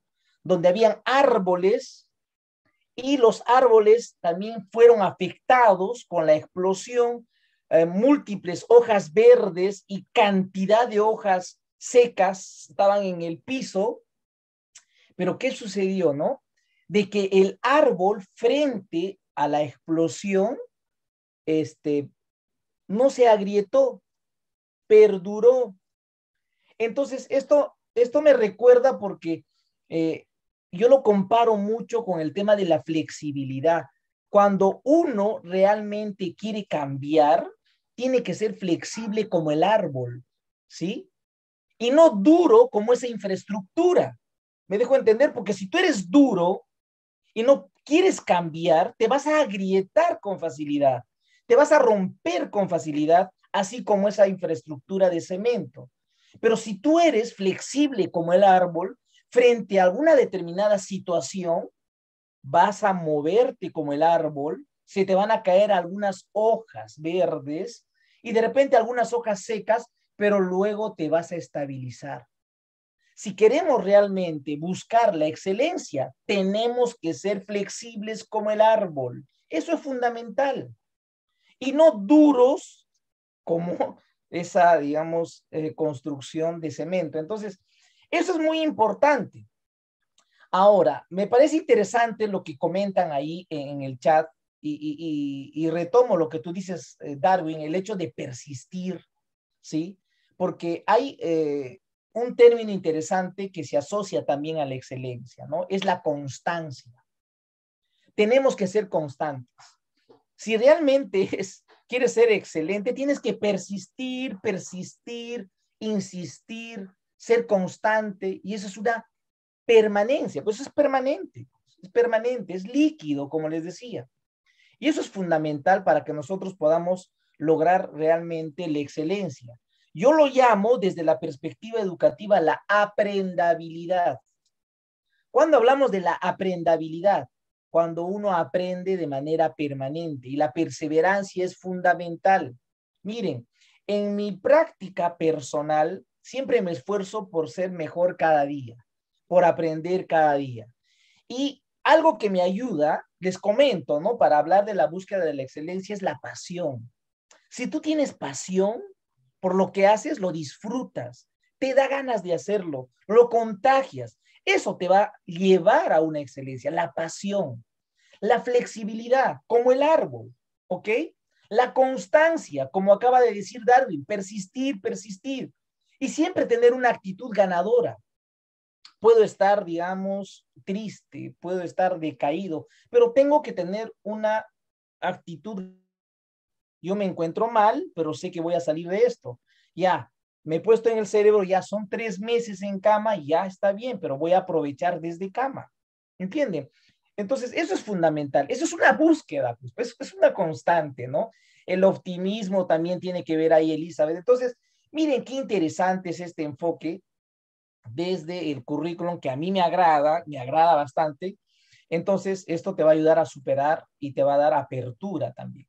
Y bueno, aquí tenemos también el, enfoque de la orientación al bien común y con esto vamos a ir cerrando los enfoques. El tema de la orientación común, este, me agrada también, de la orientación al bien común. ¿Cómo lo entienden ustedes la orientación al bien común? A ver, escribamos en el, en el, en el chat.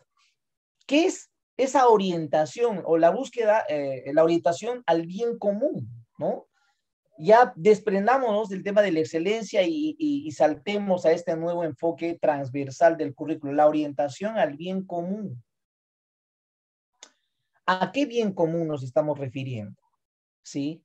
Cuando hablamos de bien común, Ah, Carlos, promueve valores, virtudes cívicas, el sentido de la justicia para la construcción de una vida en sociedad. Interesante. Acá hay un componente que acabas de mencionar, que tiene que ver con la vida en sociedad. El bienestar de todos y todos. Yolanda, qué interesante. El bienestar de todos. Es el bienestar, pero de todos los integrantes de la comunidad. Lo acabas de decir tú, Yolanda. El bienestar. O sea, todos tenemos que estar bien. ¿Quiénes son todos? Todos los integrantes de la comunidad. Eso es lo que se aspira, eso es lo que se quiere. Y este, trabajar eso, la orientación al bien común no es tan, no es tan sencillo. Hay cuestiones este, que son comunes y que tenemos nosotros que este, eh, compartir. Ahí, digamos, el tema de la solidaridad, el de compartir es clave. ¿Qué es un bien común hoy en día? Por ejemplo, el agua es un bien común. Las semillas es un bien común. ¿Sí? Los servicios públicos es un bien común. Ninguna sociedad puede estar sin algo en común. Y hoy en día en las ciudades, por ejemplo, que están viviendo en edificios, hay gastos comunes, ¿sí? Es increíble. Yo viví en un departamento, viví en un edificio, hay cuestiones comunes, entonces a veces no respetamos al otro, ¿sí? Desde el primer momento de que tú botas la basura, ya estás siendo irrespetuoso con el otro. Esto tiene que ver con un concepto fundamental que, eh, que se asocia a la idoneidad. Hay un mandato de responsabilidad social, el pensar en el otro, no ser individualista, pues, sí, pensar en el otro.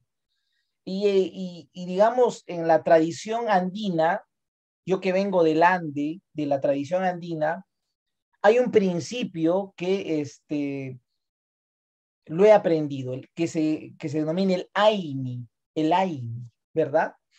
El AINI funciona en el ámbito rural, el AINI, ¿sí? Es decir, eh, esa ayuda mutua, hoy te toca a ti y mañana me, me toca a mí, ¿no? El AINI es fundamental y esto tiene que ver con un principio que en este caso tiene que ver de la reciprocidad, que eso es algo fundamental en este enfoque de la orientación al bien común, la reciprocidad. Por supuesto que sí. Eso es, entonces tenemos que eh, compartir, eso es fundamental. Bueno, eh, cuando hablamos de estos enfoques realmente me agrada, ¿no? Este, no me estoy deteniendo en los valores que están específicos, ¿no? Este, planteados para, para cada uno de estos enfoques transversales en el currículo nacional, pero son los enfoques que van a orientar nuestra práctica este, curricular más adelante. Y cuando nosotros planifiquemos, vamos a echar mano de estos enfoques transversales porque cuando planteemos una situación significativa, fíjense, me estoy adelantando, cuando planteemos una situación significativa, ya hablando en términos curriculares, tenemos que asociar y decir, esta situación este, significativa, ¿con cuál de estos enfoques transversales se relaciona? Esta situación significativa, este, la voy a trabajar desde uno o varios de estos enfoques transversales. Eso es fundamental. Tenemos que estos enfoques transversales expresarlos en la práctica pedagógica. No solo puede quedar en el discurso. Esto tiene que expresarse en la situación significativa y después esa situación significativa se va a expresar en las actividades o en las sesiones de aprendizaje. Ahí se va a expresar en la práctica el enfoque ambiental, el intercultural, el de derechos, la orientación al bien común, etcétera. Entonces, eso es muy importante. Fíjense, hay un, este, una historia, una anécdota que les quiero contar desde la orientación al bien común, desde la orientación al bien común de Buda, y, y me voy a permitir contarles, ¿ya? Eh, una vez Buda estaba saliendo con toda su gente, con toda su gente, ¿no? Con todo su séquito a pasear. Pero había mucha gente que en realidad eh, tampoco, digamos, lo quería mucho, ¿no? A Buda y comenzaron a insultarlo eh, por, el, por el lugar por donde él estaba paseando, Buda, a insultarlo. Entonces toda su gente reaccionó. No podía ser que a su gran maestro, casi Dios lo estén agrediendo, insultando. Entonces Buda los calmó a todo su séquito, los calmó, apaciguó la situación y les dijo lo siguiente. Si a ustedes les dan un regalo, escuchen, si a ustedes les dan un regalo y no lo reciben, ¿de quién es el regalo? Nuevamente repitió Buda, si a ustedes les dan un regalo y no lo reciben, ¿de quién es el regalo? Y luego Buda les dijo, parece que recibieron el regalo, ahora quieren devolverlo. Entonces, fíjense la actitud de Buda, ¿no es cierto? Proactivo, no reactivo. Y eso es algo fundamental también en la orientación al bien común. No somos proactivos, tenemos que actuar con proactividad. ¿Ok? porque de repente en mi reactividad puedo hacer algo que daña al otro. Entonces ya no estoy orientando mi posición al bien común, estoy siendo individualista. Tengo que medir todas esas cosas desde este enfoque de la orientación al bien común. Entonces, esto es, digamos, un regalito que me recordé y que quería compartirlo con ustedes y seguramente durante las sesiones vamos a tener ahí varios regalos de cuentos que este, conocemos y que en algún momento ustedes también van a socializar. ¿Ok? Muy bien, estos son los enfoques entonces con los cuales el currículum se viene este, desarrollando. Les he indicado que eh, está, digamos, en controversia el tema de la igualdad de género y este, entonces vamos a ir hablando más adelante seguro de seis enfoques. Muy bien. Esto es lo que quería, digamos, a grandes rasgos, este, comentarles, pero el currículo nacional tiene competencias. ¿Cuántas competencias tiene el currículo nacional? A ver, ¿cuántas competencias? Ustedes saben, ¿cuántas competencias? Escribamos en el chat. ¿Cuántas competencias tienen que saber? Porque el currículum es justamente nuestra herramienta. ¿Cuántas competencias tiene el currículum? Se la saben, ¿verdad? Escriban ahí. ¿Cuántas competencias? Se olvidaron. Es que tenemos que tener, digamos, el número acá.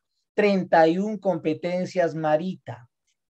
Son 29 competencias de área, Carlos, Carlos, 29 competencias de área y dos competencias transversales. Estamos hablando del currículo nacional en general, Carlos, ¿verdad? En general. Todavía no estamos hablando de las competencias de eh, la EVA, de la EVA todavía no estamos hablando, ¿verdad? De manera general, el currículo tiene 29 competencias de área y dos competencias transversales. Excelente. Entonces, fíjense que, y para la EVA, ¿cuántas competencias hay? A ver, ¿cuántas competencias creen que hay?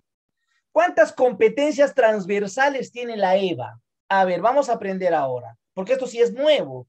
¿Cuántas competencias transversales tiene la EVA? ¿Qué dicen ustedes? A ver, adivinemos. Marita, ¿dos transversales? No. Dos transversales tiene el currículum en general. ¿Está bien, Marita? Para la educación básica. Dos transversales. Transversales. Pero para la EVA, para la EVA, ¿cuántos son, cuántas competencias transversales? ¿Sabemos? ¿Tenemos la información? Bueno, hoy vamos a aprender. Y es que nos estamos metiendo al currículum, pues nos estamos metiendo al currículum. Miren, el currículo nacional tiene 31 competencias. 29 son competencias de áreas y dos son competencias transversales. Eso es, digamos, el currículum nacional para la educación básica, básica.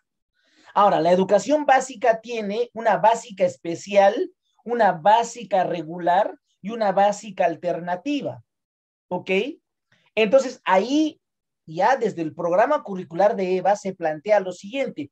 Tenemos, fíjense, siete competencias transversales para la EVA. Para la EVA tenemos siete competencias transversales. En la EVA, miren, interactúa a través de sus habilidades sociomotrices, es transversal asume una vida saludable. Esa competencia que para la EBR es una competencia de área, para la EVA es una competencia transversal. ¿Se entiende? O se desenvuelve de manera autónoma a través de su motricidad. Eso, eso que es una competencia de área para la EBR, para la EVA, es una competencia transversal crea proyectos desde lenguajes artísticos, a ti que te gusta ser artista, ¿no es cierto? Es una competencia transversal. ¿Se dan cuenta? La competencia transversal. Igual, aprecia de manera crítica manifestaciones artístico-culturales. Son competencias transversales para la EVA. Entonces, estamos ahorita en modo currículum, en modo currículum. Estamos un poquito acercándonos al currículum y yo estoy haciendo un gorro, una explicación del currículum. Claro que aquí está, gestiona sus aprendizajes de manera autónoma, se desenvuelve en entornos TIC. Todas estas competencias son transversales para la educación básica alternativa. ¿Y cuántas competencias son de área en la EVA? 22 competencias. Es decir, solo tenemos 22 competencias de área en la EVA. ¿Ok? A ver, escriban en el chat. ¿Cuántas competencias de área tenemos para la EVA y cuántas competencias transversales tenemos para la EVA? Escribimos en el chat. Vamos, vamos todos, porque esa es una manera de aprender. A ver, 22 de área, 7 transversales. Excelente, Carlos. 22 de área, 7 Esto no podemos olvidarnos. Si tú eres maestro, tú vas a ser maestro de EVA, eso tienes que manejar, eso tienes que saber, eso está en tu cerebro como profesor de la educación básica alternativa. ¿Ya? Sabes que en la educación básica son 31 competencias, dos transversales, 29 de áreas, pero para la modalidad de la EVA, 7 son transversales y 22 son de área. ¿Ok? En total, ¿cuántas competencias tenemos? 29 competencias para la EVA. 29 competencias. Entonces, estaba bien, ¿no? Lo que alguien nos decía por ahí, 29 competencias, es porque se estaba refiriendo a las competencias de la EVA, ¿ok? A partir de estas competencias, nosotros vamos a trabajar situaciones significativas. Vamos a trabajar situaciones significativas. Vamos a elaborar una situación significativa. Pero eso es más adelante, en otra sesión. Vamos ahí eh, elaborar una situación significativa. Pero esas situaciones significativas en la EVA tienen una particularidad. Las situaciones significativas están asociadas a proyectos productivos. Las situaciones significativas en la EVA están este, articuladas a proyectos de vida. Miren, y eso va a articular, va a integrar a todas las competencias que nosotros estamos trabajando. Claro, ¿sí? Entonces, como tú dices, Hermógenes, claro, no son como áreas, son transversales, pues, Sherry, son transversales, de acuerdo al programa curricular que tiene.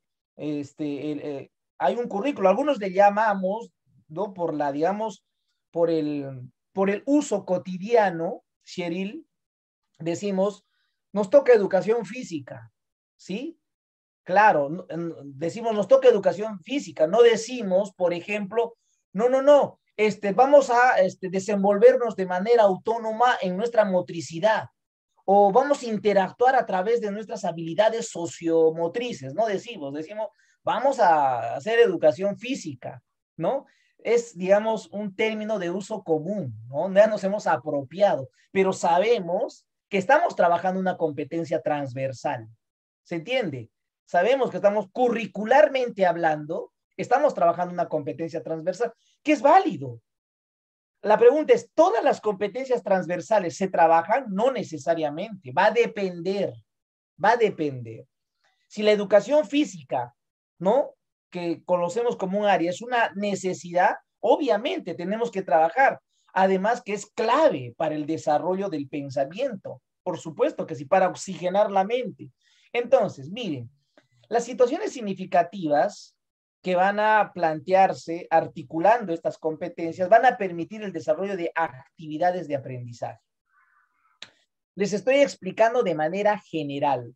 Todo esto ahorita es discursivo, discursivo. Estoy hablando nada más, ¿ok? Más adelante yo les voy a dar algunos instrumentos, algunas herramientas de cómo vamos a trabajar todo este proceso. Y fíjense, la alfabetización la alfabetización implica el desarrollo de competencias instrumentales, socioeducativas y laborales. Es decir, nosotros tenemos que trabajar esas competencias instrumentales, lo que tú decías, Cheryl, es instrumental trabajar el tema de la motricidad, de la sociomotricidad, la educación física. Lo socioeducativo, pero también lo laboral, tengo que ir incorporando en el desarrollo de estas competencias algunas que son de carácter técnico, ¿sí? Competencias técnicas que puedo ir yo aprendiendo, incorporando en mis situaciones significativas. Bueno, pero ese es un tema que lo vamos a ir progresivamente aprendiendo, pero esto quería, digamos, explicar como un cierre de la explicación del currículum, porque ahorita estamos aterrizando, digamos, a la modalidad de la educación básica alternativa. Evidentemente, trabajamos tomando en consideración también los estándares de aprendizaje, esos estándares que son metas que deseamos alcanzar, ¿no?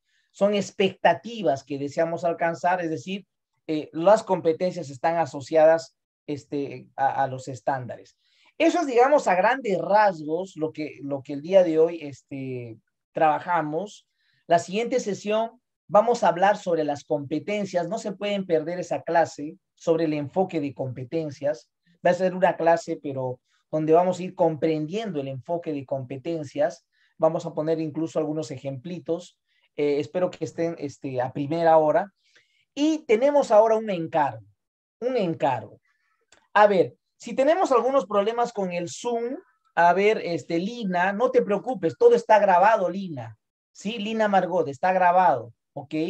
Entonces lo vas a poder volver a chequear el eh, archivo, el video, para que tú puedas nuevamente recordar todo lo que hemos trabajado. Hemos hablado del currículum, por lo tanto, ¿cuál es el encargo que les tengo? A ver, a ver, el encargo que les tengo, a ver, eh, es Vamos a hacer un cuadro comparativo, fíjense, un cuadro comparativo, estableciendo diferencias y semejanzas entre el currículo de la educación básica, ese currículo de la educación básica, y la propuesta de currículo nacional de la EVA, del nivel avanzado. A ver, vamos a revisar en qué se diferencian. Esa es una comparación. No nos olvidemos que la comparación es establecer que es establecer diferencias y semejanzas. La comparación es un proceso cognitivo que implica establecer diferencias y semejanzas. Por lo tanto, van a ser algunas, van a plantear algunas semejanzas y algunas diferencias entre el currículo de la educación básica y esa propuesta de currículo de la EVA del nivel avanzado. Yo les voy a enviar esa información, no se preocupen, yo les voy a enviar esa información, ¿ok? Para que podamos empaparnos un poco más acerca del currículo de la EVA. ¿Ok? Ese es el propósito, para meternos para, eh, en el tema de la, de la EVA. Y para poder dominar eh, el tema de, este currículum, eh, la, siguiente clase, la siguiente clase, vamos a exponer algunos de nosotros sobre el, el, sobre el currículo de la EVA. ¿Sí? Miren, yo estoy siendo ahí muy democrático muy democrático para que ustedes puedan participar. Hay algunas personas que se inscriben y no participan, ya ese es un tema de responsabilidad, ¿verdad? Que tiene que ver con la madurez también de cada uno de nosotros.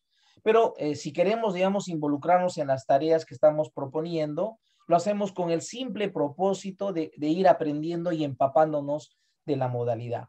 Entonces, la siguiente clase va a haber cuatro expositores. ¿ok? Cuatro expositores. Uno de ellos nos va a explicar el perfil de egreso de la educación básica, la caracterización de los estudiantes de la EVA y las características de la EVA. Nos va a explicar una de las personas. ¿Quién desea este, leer desde la página 10 hasta la página 14? Son cuatro hojas, así de sencillo. Miren, y yo estoy siendo democrático, a ver, ¿quiénes se animan? A ver, ¿quiénes se animan para poder participar eh, la próxima clase con, con, con sus exposiciones. A ver, ¿quién se anima? ¿Sí? Hay voluntarios, voluntarias. Ana Carpio, excelente Ana. Uy, tú que estás participando bastante ya, Ana. Me parece interesante, eso me agrada, ¿ok? Entonces voy a colocar aquí, voy a colocar, perdón, a ver, voy a escribir aquí mi primera voluntaria, ¿ok? Estamos hablando expositor Ana. Ana Carpio, ok. Entonces, Ana Carpio, tú te vas a encargar este, de, de, este, el perfil de egreso, la caracterización de los estudiantes y las características de la EVA. Luego está eh, Alfonso Sonco. A ver, voy a colocar aquí Alfonso. ¿Está bien? Mire, Alfonso. Alfonso Sonco, ¿verdad? Ahí, muy bien. Alfonso Sonco, tú vas a este, explicarnos la página 16, los enfoques transversales, pero de la EVA, de la EVA.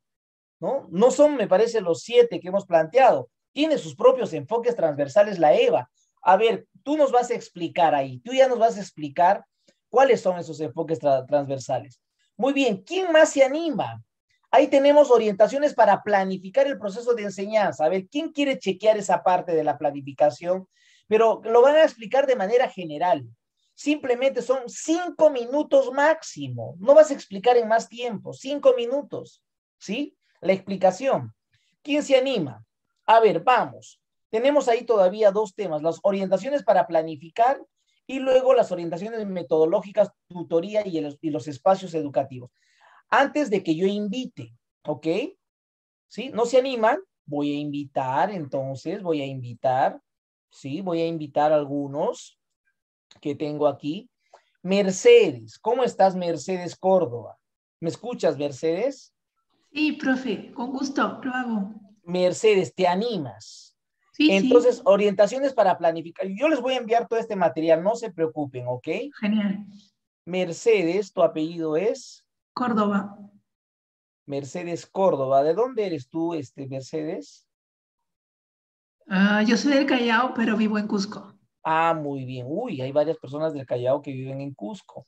Muy bien. A ver, y orientaciones este, metodológicas. A ver, ¿quién se anima? No se anima, voy a invitar a otra persona. Muy bien. Eh, William, ¿estás ahí, William? ¿Me escuchas, William? William, uy, no me estás escuchando. No estás conectado, William. A ver, entonces, a ver, William. Vamos a invitar a eh, Darwin. Darwin, ¿estás ahí, Darwin? Darwin. Caramba, William, los varones están, pero como que no quieren participar, ¿no? Eh, algo está sucediendo con los varones, no puede ser. A ver, voy a invitar a otro varón, ¿ok? Este, Carlos Linares.